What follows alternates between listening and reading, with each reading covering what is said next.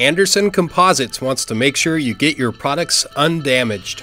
We're going to show you the great lengths we go through to package your products and what you should do when you receive them. Each product is unpacked and carefully inspected by one of our technicians. Products that meet our quality control standards are repackaged for shipping. We first wrap the hood in a protective foam sheet, and then we wrap it in plastic. We add styrofoam to take up any gaps in the box. The styrofoam adds an additional protective barrier and prevents the product from moving. Taping the wrap product to the sides of the box further ensures it will not move. With the product secure in the box, it is closed and taped shut. Fragile and handle with care stickers are added to the outside of the box, along with a packaging slip.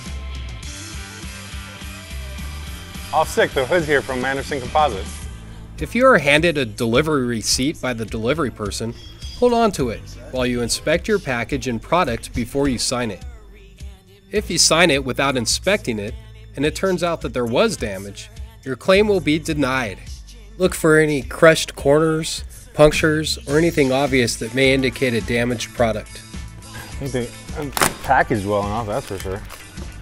Doesn't look like anything's damaged. Cool, looks good. If the product checks out, sign the delivery receipt and enjoy the product. If the product is damaged, accept the delivery. Note any damage on the delivery receipt. Contact whomever you made your purchase from. Take photos of the damaged package and product. Continue to communicate with and follow any instructions provided by your dealer so they can best submit a claim on your behalf.